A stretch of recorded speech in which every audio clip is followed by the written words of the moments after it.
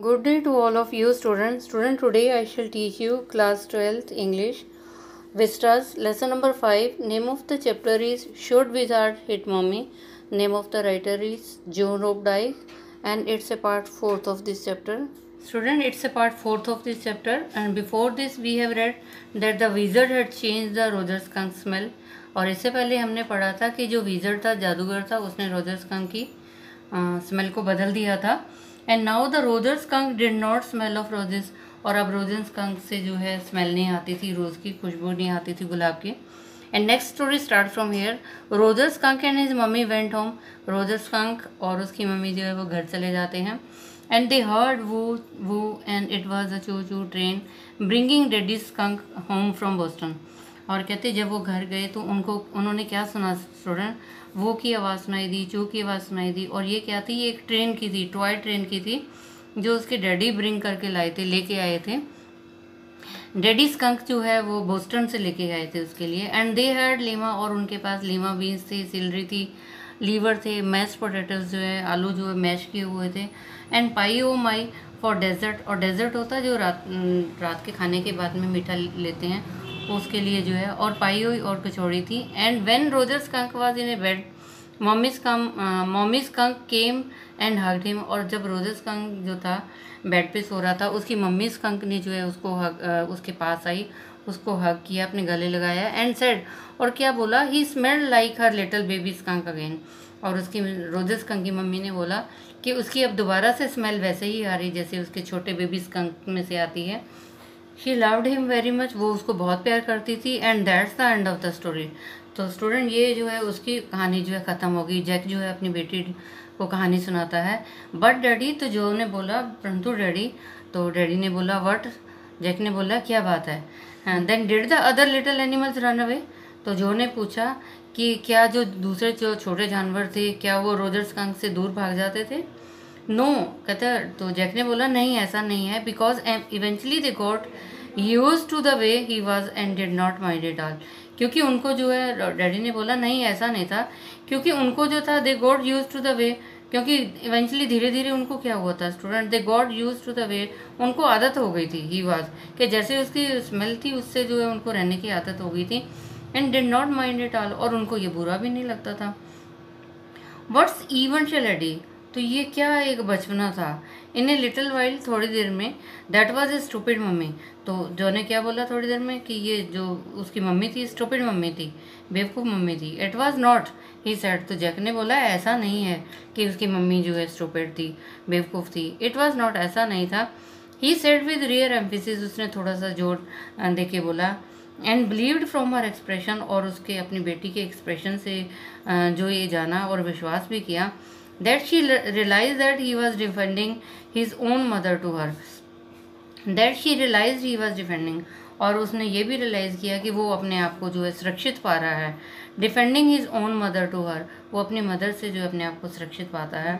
और something as और या कुछ और ऐसे और हो सकता। है now I now I want you to put your big heavy head in the pillow और अब डैडी ने क्या बोला? जैक ने बोला अपनी बेटी से, अब मैं ये तुम्हें जाता हूँ। Now I want you to put your big heavy head अब अपना बड़ा सिर जो है ना पिल्लो पे तकिए पे रखो and have a good long nap और जो है तुम अच्छी सी नींद ले लो, नींद की झपकी लो।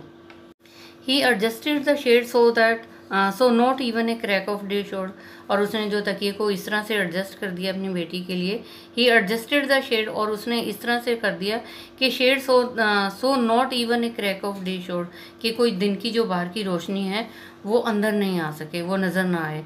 And tiptoed the door और ऊपर से जो उसने दरवाज़ा भी जो है बंद कर दिया। In the pretense that she was already asleep और इन द प्रटेंस और ये दिखा, दिखाई दे रहा था जो शी वॉज़ स्लीव के, वो तो पहले ही सो चुकी हैं।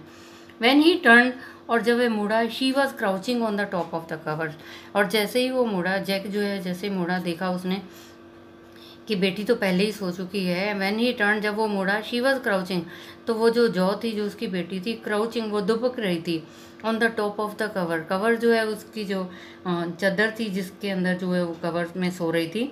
स्टेयरिंग एट हिम वो जो है, अपने कवर में जो है, उसकी जो चादर थी, उसकी जो, उसमें जो है, वो दुबक के जो है लेटी हुई थी और स्टेयरिंग एट हिम और अपने फादर को जो है, घूर के दिख रही थी। हे उसने क्या बोला? Get under the cover and fall fall fast sleep baby sleep तो जैक ने क्या बोला hey get under the cover तो चलो चादर में सो जाओ एंड फॉल फास्ट स्लीप और अच्छी गहरी नींद में सो जाओ। बेबीज बॉबीज अस्लीप और बॉबी भी जो है सोया हुआ है। She stood up and bounce gingerly on the spring और जो जो थी वो खड़ी हो गई स्टूडेंट और बाउंस करने लगी बेड के ऊपर। Gingerly on the spring gingerly means यहाँ खुशी से जो है और स्प्रिंग के ऊपर जो है बाउंस करने लगी और क्या बोला डैडी तो डैडी ने पूछा वट तो क्या बोला tomorrow I want you to tell me the story that wizard took that magic wand and hit mommy तो जो ने बोला जैक ने बोला, क्या बात है? तो tomorrow I want you to तो जो ने क्या बोला, कल मैं ये चाहती हूँ I want you to tell me the story कि मुझे ऐसी कहानी सुनाना that wizard took that magic wand कि जो जादूगर था, उसने मैजिक वैंड लिया और मम्मी को हिट कर दिया। कल मुझे इस तरह की कहानी सुनाना। और क्या बताना? Her plump arms chopped forcefully और जो उसकी मम्मी की जो प्लम्प आर्म्स थे, जो जो स्ट्रॉन्ग आर्म्स थे, उसको चॉप कर दिया। उसको जो फोर्सफुली जो है काट दिया। राइट ओवर द हेड और हेड के जो है साइड से राइट से। No that's not the story तो जैक ने बोला, नहीं, ऐसी कहानी नहीं हो सकती. The point is that the little skunk loved his mommy और पॉइंट ये है कि जो वो छोटा स्कंक है ना, वो अपनी मम्मी को बहुत लाइक करता है।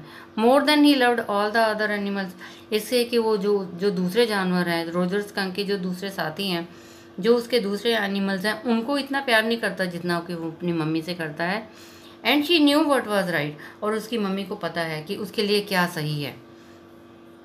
No tomorrow you say he hit that mommy तो जॉर्ज जो है वो कहने लगी, नहीं, ऐसा नहीं। कल आप मुझे ये कहानी सुनाना कि विजर्ट ने जो है उसकी मम्मी को हिट किया।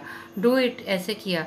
She kicked her legs up और जो जो है जब सो रही थी तो उसने अपनी टांगों को किक किया and sat down on the bed और बेड के ऊपर जो है बैठ गई। विद ए ग्रेट हीव और उसने एक लंबी सी सांस ली एंड कंप्लेंट ऑफ़ स्प्रिंग और स्प्रिंग के बारे में जो है कंप्लेंट करने लगी। As she had done hundreds और जिस तरह की उसने हंड्रेड टाइम किया है she had done hundred of times before ऐसा उसने जो है पहले कई बार किया था। Except that this time she done not love बस इस बार यही हुआ था कि वो हँसी नहीं थी। से डैडी तो उस जो ने बोला अपने डैडी से कि ऐसा बोलो। We well we will see और जैक ने बोला, ठीक है, हम देखेंगे। वी विल सी हम देखेंगे। Now at least have rest. अब जो है, आप आराम करो। Stay on the bed bed पे स्टे करो, सो जाओ। You are a good girl Jack ने अपनी बेटी को बोला कि तुम बहुत अच्छी लड़की हो। और फिर जैक ने क्या किया? He close the door and went down और उसने दरवाज़ा बंद किया और नीचे चला गया सीढ़ी में। Clare had spread the newspaper and open the paint paint can and wearing an old shirt of his on top of her maternity smock और स्टूडेंट क्लियर ने क्या किया? जब वो नीचे चला गया जैक नीचे चला गया वेंट डाउन स्टेयर और डाउन स्टेयर में जाके क्या देखा? क्लियर ने क्या किया? क्लियर ने जो है न्यूज़पेपर फैला रखे थे और उसका दरवाज़ा खुला था। और Clare had spread the newspaper newspaper फैला रखे थे and open the paint can और पेंट का जो कैन थी उसको खोला हुआ था and wearing an old shirt और उसने जो है एक पुरानी शर्ट पहन रखी थी। On shirt of his on top of her maternity smock और जो उसने, जो कुर्ता पहन रखा था मेटर्निटी स्मोक जो उसने ढीला कुर्ता पहन रखा था, उसके ऊपर जो उसने शर्ट पहन रखी थी। वह stroking the chair with a dip brush और क्लियर क्या कर रही थी स्टूडेंट ब्रश को जो है पेंट में डिप करके जो वो चेयर रेलिंग पे पेंट कर रही थी। Above him foot steps vibrated और जैक जो जैक को क्या सुनाई दे रहा था? ऊपर जो है फुट स्टेप्स कदमों की आवाज़ वाइब्रेट कर रही थी। एंड ही कॉल्ड और उसने आवाज़ लगा के बोला Jo shall I come up there जो क्या मैं ऊपर आऊँ?